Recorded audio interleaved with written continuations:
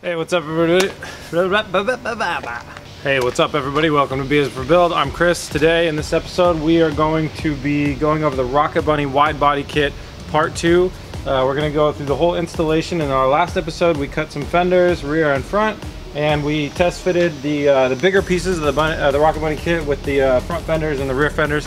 This time, we're going to do front fenders, rear fenders, uh, and the bumper pieces. And then in another episode, we'll do side skirts and the front spoiler. so one thing I wanted to show you guys in another in a previous episode, we cut the rear fender and we said, okay, cut through the two skins. But I actually just learned, and when I say two skins, I mean the outer metal and the inner metal for the fender. Um, I just learned something pretty cool, so I wanted to show you guys this. Okay, so here we are on the passenger side fender, and these need to be cut out a couple inches above to give the wheel room to travel um, outside the frame. And in the previous one, we cut through, this is the outer skin. We cut through this and we cut through this with one kind of big stroke of the body saw. The second time I came through and I just cut the outside skin and I, I wanted to tell people, and I'd seen other people do it with the cutting through both of them at once. Um, and I wanted to uh, tell everybody else that there's a better way to do this because when you cut through both of them, now you got to come up with some sort of material to bridge this gap so you don't get water in here. Well, when you leave this inner skin fully intact, there's just a couple spot welds here holding this on. So I'm to bend those and I'm going to pop those off. Now I'm going to take my cutting saw and I'm going to cut some uh, some lines in here so this metal can flex and then I'll bend this out and bridge that gap with those and then I can come back in with a tack welder or you could use fiberglass filler um, anything you wanted to do to attach these two skins to each other to keep the water out. Now your your uh, mud flap, your mud guard is going to keep a lot of this moisture out as well but you you know you want to have a backup. You don't want anything to come up and then back down and into the frame of your car. Anyways, doing this was uh, a lot better, and I'm gonna have this metal to work with, and uh, I don't have to come up with some other type of fancy solution. Now on the other side, let me show you what it looks like if you cut both of them. Here's our other side. And when you cut both of them, we just have this, and it ends, and we go to this. So now I got to come up with some real cool way to fill this uh, slot, which I still haven't figured out and we're just gonna gloss over that for the episode today. All right, so that was a quick pro tip on fender cutting. I'm gonna cut the rest of that fender and then we'll start putting the thing on, the Rocket Bunny thing on, the bunny of the rockets and the wideness and the, all the goodness.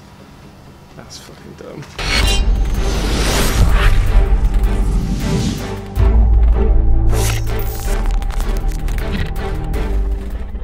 So, where I'm at now, I need to put the rear bumper on, and then I'm gonna put the front over fenders and the rear over fenders on the car. So try and get the bumper on with the quickness, that way I can get that those things at least on today.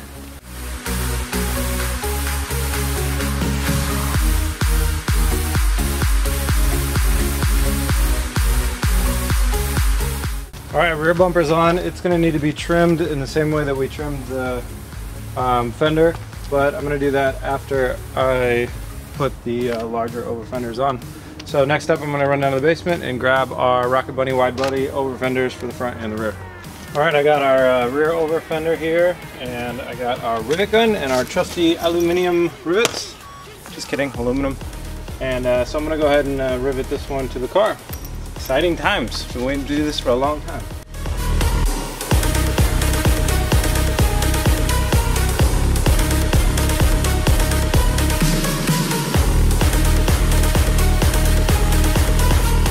Well, that was a little bit of bad timing. The camera battery died, uh, but I think I captured all the footage. You guys saw me. Just riveted this thing up. It's on there. It's on there really good. Uh, we're going to move on to the front over fender. Riveting pro tips so you don't mess up your own car. When you're pushing, when you're putting the rivet in, you naturally want to be pushing towards the car body really hard and you're clamping down on this and your, your body will build up a lot of pressure with this going towards the front of the car. When you're about to push it for the final part where it's going to snap that rivet off, you want to actually reverse that and start pulling backwards because if you don't, what will happen is if you're pushing forward, this thing snaps, pops off, and then your rivet gun goes into your paint job and scratches up your car. I've done it a couple times in a couple different places. So once you're about to snap that rivet off, start pulling backwards and then the rivet, hopefully rivet gun will pop back on you.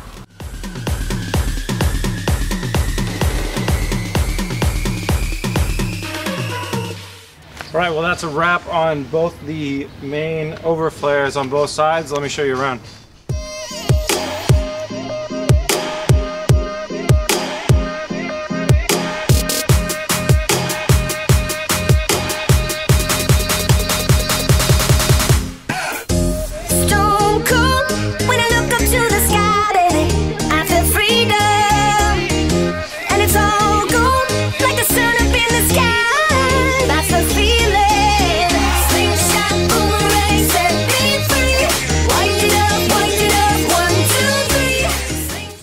The uh, more keen observers of you guys will probably notice that some of the rivets are missing from some of those holes. I ran out of rivets.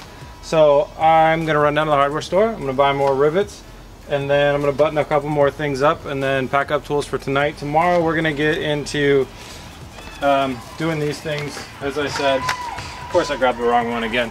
We're gonna get into doing uh, these things, which means a little more trimming of bumpers. We got the front and the rear bumper that we'll be cutting up a little bit more, bolting these things on, and uh, finalizing that front bumper mount um, to finish up our body work. Very exciting stuff. I'm super stoked to get this car buttoned up. Um, I'm really happy with the way it's working. So I will see you guys tomorrow. What's up everybody? We are back for day two of our Rocket Bunny wide body kit install part two. Uh, so we're gonna start on the front first and I'm gonna be working on attaching this front bumper up to the fender and then I'm gonna grab the uh, body saw and I'm gonna cut the pieces off of the front bumper that I need to to make room for the wheel.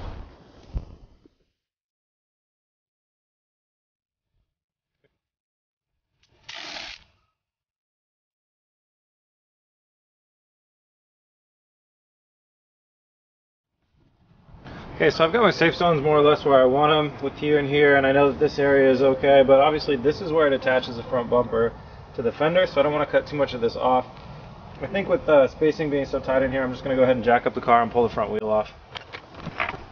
Okay, now I got space, no need to take the wheel off. So I'm going to grab my body saw and I'm going to cut through this fender piece and through this bracket, and then that'll let me know how much I want to cut off of this.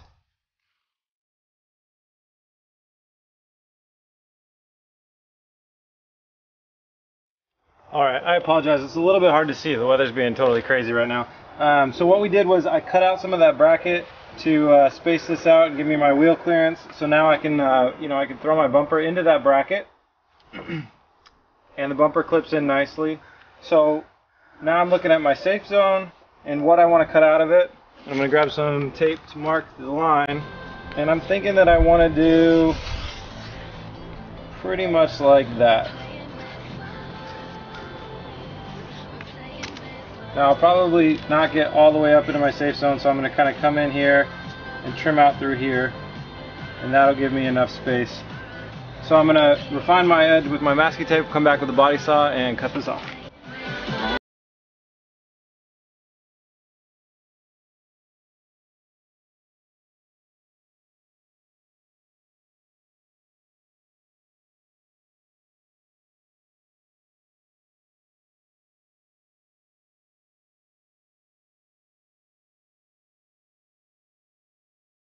Well, that is where I want that to go. It looks like I need to put a hole here, here, and here. And that's how it rivets to the front bumper.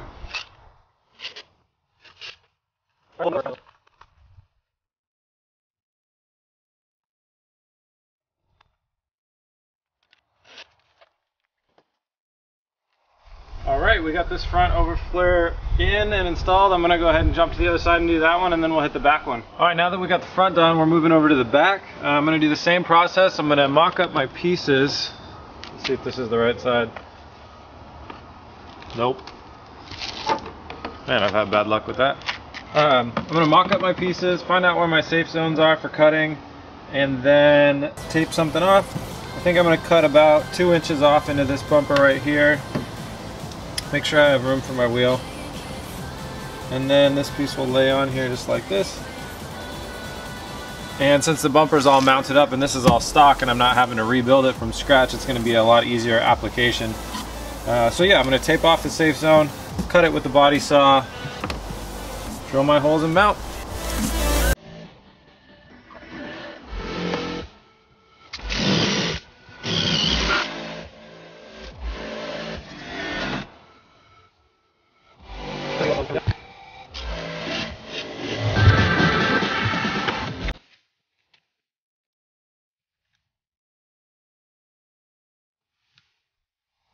All right, we got that on. Uh, this piece is sticking out a little bit extra, but I can, once I take the rear wheel off, which I'm sure I'll have to do again in the near future, I'll throw a rivet in the back of this right here, and that'll keep it tucked in. But for now, I'm just gonna leave that part there.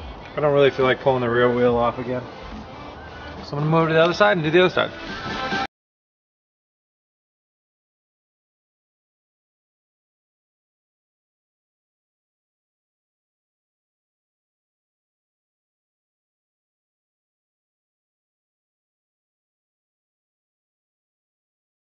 Well, that sucked.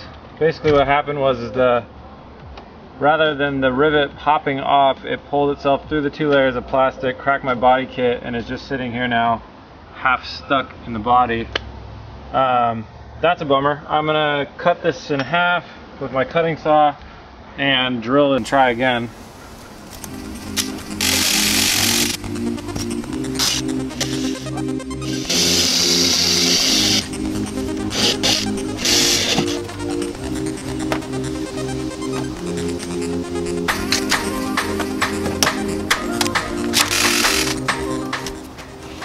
Man, I want to murder that rivet, but oh well. It's on there. It just needs to be sanded down a little bit. And while I was drilling it out, I gouged my body kit. So now I need some touch-up paint. But oh well, these things happen. Um, so this little back end is flared out too. Off camera, I'm gonna think up a nice way to attach these down. I mean, I can drill it into the side of the bumper here, but then it's gonna be just as flimsy. I think I'd like to attach it to the kit itself. So I might come up through the bottom and drill up through here and attach those pieces together like that. And I think that'd be a little bit sturdier method of doing it. All right, so to solve from this piece sticking out too much, what I did was on the inner fender well, I drilled a hole through the Rocket Bunny piece into the bumper on the inside and then drilled the hole straight through, tuck this in, and then shot a rivet through the back of it. So that'll hold that on. I'm gonna go ahead and do that to the other side and then we're all wrapped up.